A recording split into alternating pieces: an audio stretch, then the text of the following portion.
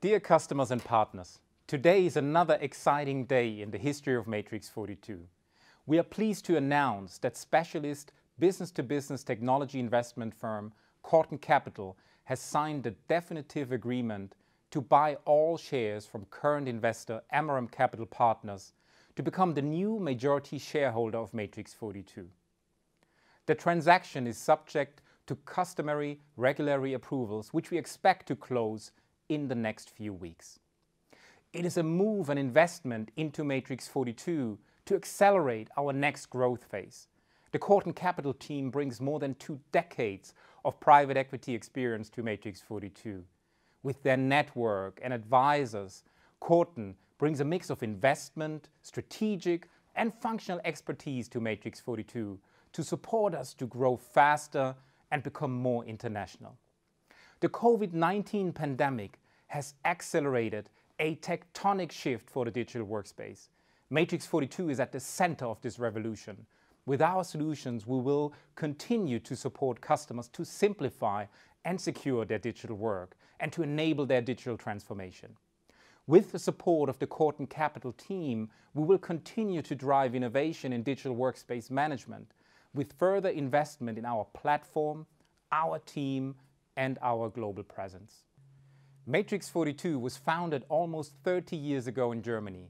Today, we are a critical solution and business partner for more than 5,000 customers worldwide in all industries and with more than 12 million users working with our solutions every day.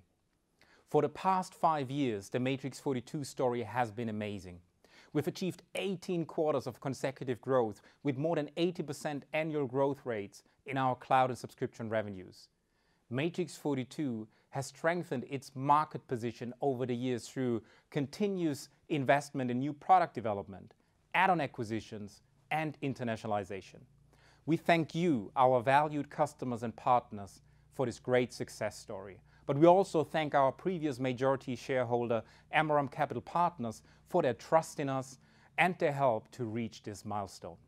I'm immensely proud of what the Matrix 42 team have achieved, and we believe that the best is still ahead of us.